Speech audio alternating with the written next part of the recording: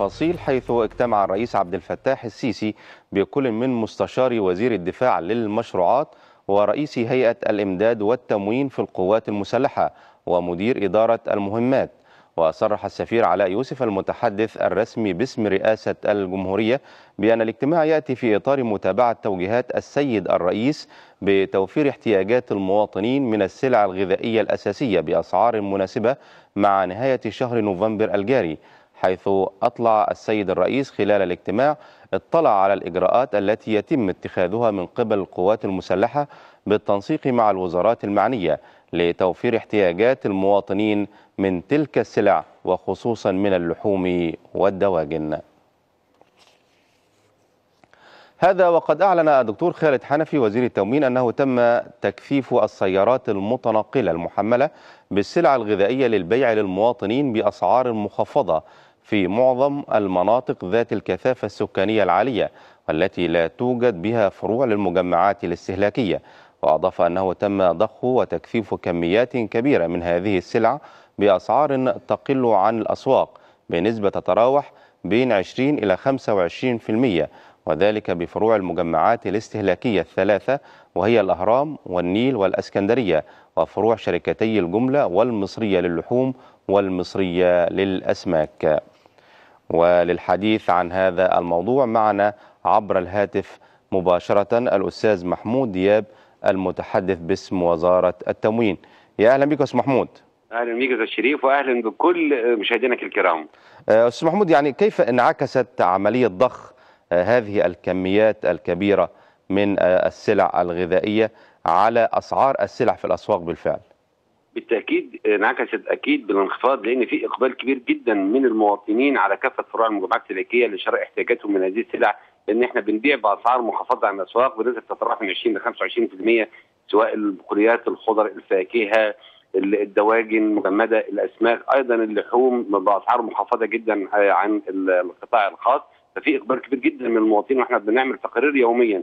وفي غرفة عمليات في الوزارة بنتابع حركة المبيعات وإقبال المواطنين وفي نفس الوقت إحنا لدينا خط ساخن اللي هو 19 280 بتلقى أي شكوى من أي مواطن من أي منطقة في الجمهورية والعمل على حلها. في نفس الوقت برضه إضافة لتكثيف السلع إحنا بنضخ أيضا سلع في المحافظات اللي تضررت يا أستاذ محمود انت أستاذ محمود أنت تتحدث عن الإقبال المتزايد من قبل المواطنين على يعني شراء هذه السلع المخفضة من قبل المعروضة من قبل أجهزة الدولة، يعني أتحدث عن الأسواق العادية، يعني هل جهاز حماية المستهلك لمس وجود انخفاض في أسعار السلع أم أن ضخ كميات كبيرة من قبل الأجهزة المعنية لم ينعكس بشكل كبير على أسعار هذه السلع؟ هو بالتأكيد يا أستاذ شريف لما لما يبقى في إقبال من المواطنين على السلع الموجودة بالمجمعات فده هيخف الضغط أو يقلل من الطلب على السلع بالأسواق فبالتأكيد أنت عارف إن السوق آليات عرض وطلب فكل ما يقل الاقبال على أو بيزيد الاقبال على المجمعات بالتأكيد بيقل الاقبال على السلع المعروضه بالأسواق فده هيؤدي إلى كثافة المعروض منها فتنخفض أسعارها. ده آليات اقتصاد طيب. بالإضافة برضو أنا برضو عاوز أقول النقطه الثانية إن إحنا أيضا أرسلنا سلع غذائية من خلال سيارات متنقلة لعدة قرى تضررت بسيول في ده السؤال ده السؤال عاوز أسأله يا أستاذ محمود. يعني طبعا المحافظات المتضررة خاصة الإسكندرية والبحيرة ومطروح وعدد من محافظات الدلتا تضررت بسبب يعني الأمطار الغزيرة وربما التي وصلت إلى حد السيول. يعني ربما المشكلة في هذه المناطق مشكلة مضاعفة. كيف تعاملتم مع هذا الأمر؟ إحنا ضخينا بسيارات محملة بالأغذية. هذه المناطق ومن من من من, من أماكن مناطق زوجة عبد القادر كان عدة قرى تضررت بالسيول وانقطعت الطرق فتم التوصيل لها سلع غذائية من فروع المجمعات السلكيه بالإسكندرية بالإضافة إلى سلع مجانية من المجمعات السلكيه وتبرعات من أهل الخير من من أهل الإسكندرية وصلت فعلا لهذه القرى وتم تسليم لهم هذه السلع. وفي أي محافظة بيجي لنا أو بيخطرنا إن حصل فيها تضرر وفيها قطع طرق إحنا على الفور بنرسل لها سيارات محملة بالأغذية ده بالتنسيق والتعاون ما بين وزارة التموين وجهاز الخدمة الوطنية للقوات المسلحة. طب يعني عدد الفروع يعني على مستوى الجمهورية هل هو ال 4000 منفذ التي تم الإعلان عنها سابقا أم أنه تم زيادة هذا العدد ليغطي أكبر مساحة ممكنة من الجمهورية؟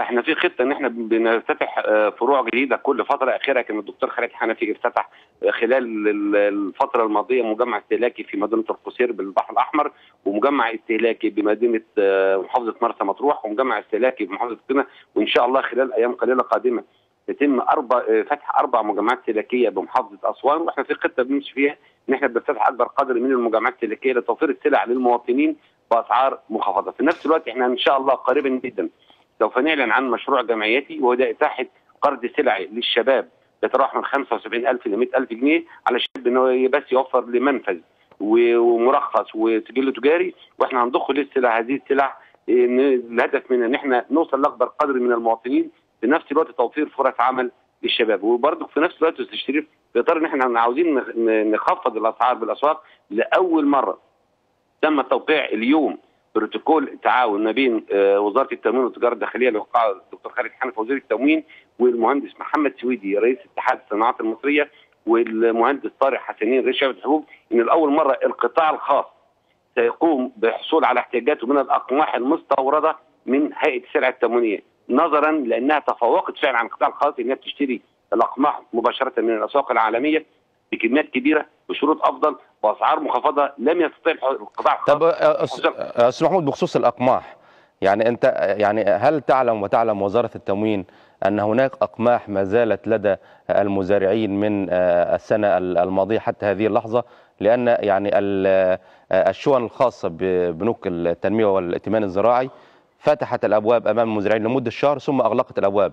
يعني آه، آه، ليست هناك خطة لأخذ هذه الأقماح أو حتى للمحصول الجديد إن شاء الله آه، الموسم الجديد بالنسبة للقمح لا حضرتك بالنسبة إن في بعض المزارعين عندهم أقماح ده أستبعدها لسبب بسيط جدا أنا أعرف هذا الأمر عن شق شخصي يا أستاذ محمود ما أنا هقول لحضرتك آه. لأن اولا السعر السنة دي كان مشجع جدا 420 جنيه ما هو مشجع بس ما حدش آه. خده منه في نفس الوقت الباب ما اتفتحش شهر لا الباب لا يمكن أقل من شهر يا أستاذ محمود. كمان لا حضرتك الباب تم فتحه نعم. أوائل شهر أبريل وتم غلقه منتصف آه،. شهر 6 يعني استمر أكثر من شهرين ونص يعني أنا أنا. بك يعني أنا بتكلم أنا بتكلم حضرتك يعني آه، لو عاوزين حاجات بشكل آه، محدد في محافظات ده موجودة بالفعل للأسف الشديد يعني وبعدين في نقطة ثانية يا آه. شريف إن حضرتك لاول مرة تم التغيير وتعديل نظام استلام القمح المحلي من المزارعين والتجار إن هيتم دفع آه، الدعم مباشرة للفلاح اللي هو 1300 جنيه عن كل فدان بأقصى حد 25 فدان الفلاح هيحصل عليهم مباشرة خلال